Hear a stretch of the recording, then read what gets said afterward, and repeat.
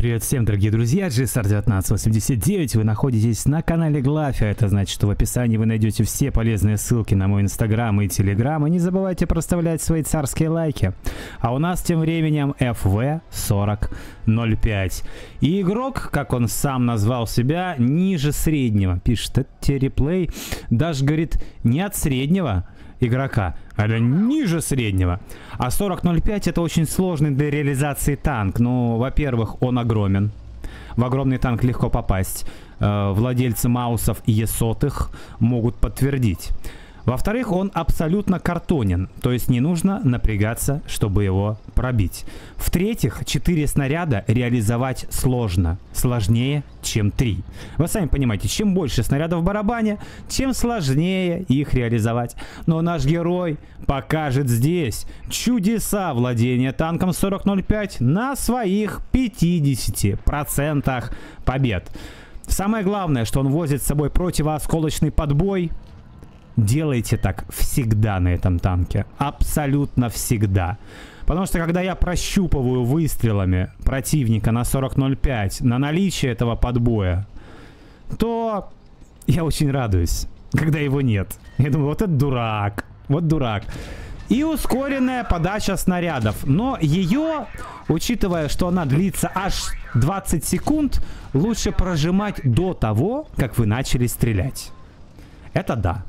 Раньше, а, ну у него нет э, этого самого, нет э, турбофорсажа на этом танке. Но он же вообще на нем есть, да? Я что-то давно не играл, подзабыл немного.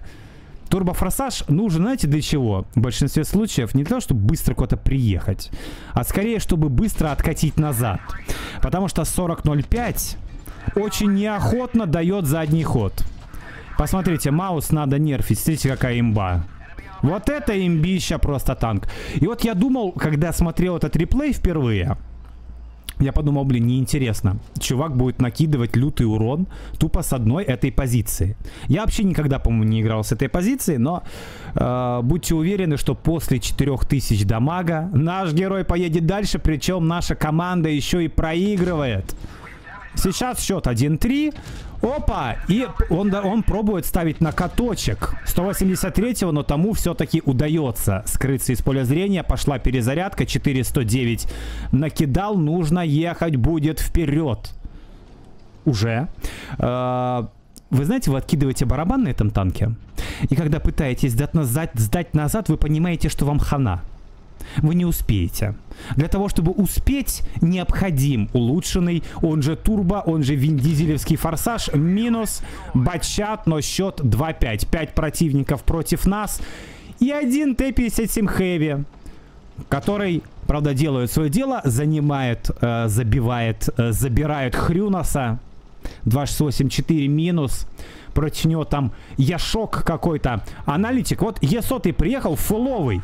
Е100 делает огромную ошибку. Посмотрите, в чем фишка. Наш герой достаточно далеко для того, чтобы нормально отъехать назад. Ты просто останавливаешься на Е100, уже стабилизация орудия куда лучше, и шанс попасть, он вырастает намного, намного, намного, намного. Немножечко подсводишься, Кидаешь фугасика, все равно фугасика. Здесь, несмотря на противосколочный подбой, на ЕСО там с его атомным уроном фугасами, там же средний, по-моему, 1020 или что-то типа того. На! И хорошо. А вот с этого барабана в легкую можно забрать Есотова. Но здесь будет, кстати, очень большая ошибочка. Пока еще нет. Но вы примерно себе сможете потом представить, наверное, если вы очень внимательны, что это будет за ошибка. Сейчас он очень круто сделал, не пошел заранее на перезарядку и выдал вот этот снаряд по 183 и забрал его. Сзади был Йох, есть еще у противника фуловый Ягд Панзер Е100 и он очень могучий. ХП для того, чтобы его одолеть, у нашего героя не останется. Что же он будет делать? Время только покажет. Нужно забирать Йоха, нужно не подставиться под Ягу. Йох приехал так, на трех снарядах. Одним не пробил. Есть второй. Яга. И Йох еще раз. 123 хп остается. Яга приезжает сюда, дает на 729. Получает урон. Каким-то образом сейчас снаряд э, дает отклонение вправо. И все, смотрите. У него сейчас один снаряд. ББшный остался один. И он перезаряжает барабан.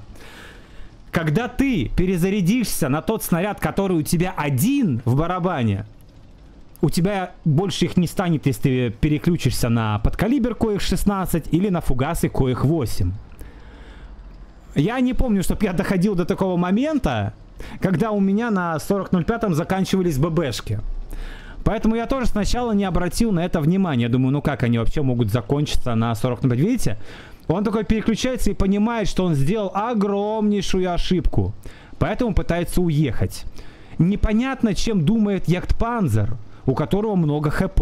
Ему нужно вкатывать, даже если у 40.05 4 снаряда, а не один остался. Но он не может знать, что у него один снаряд, понимаете, да? Ну, пусть думает, что 4, но у тебя шансов маловато. И вот наш 50% герой, настреляв 8700 дамага, едет забирать точку С. Учитывая, что Противник почти выиграл по превосходству. 980 очков. Превосходство стопорится у противника. Яга Е100 не догадывается в это время уехать на точку А и перезахватить ее. И тем временем сейчас остается просто случайно не найти Ягу. А ехая вот сюда, ты ее и не найдешь. Вот вам и 40.05. Заметьте, очень грамотно отыграно, потому что любой 40.05 в начале боя должен отыгрывать крысу, пока не засветятся все противники и не будет понятна примерно тактика разъезда, что противников, что союзников. И тогда ты только можешь ехать вперед и действовать. Гриль 15, например, может сыграть и не так. Гриль 15 может играться и в упорке, но этот танк не может. Это танк, который в начале всегда стоит. Чтобы вы понимали, вот, 50% побед, 48 тысяч боев. Колобанов 40.05, сложный для реализации танк. Друзья, если вам не сложно, подписывайтесь на Инстаграм, Телеграм, который находится в описании под каждым видео или стримом. Там же моя почта. На почту вы присылаете реплей с после боевой статистикой, пишите, где вы играли Wargaming или Леста.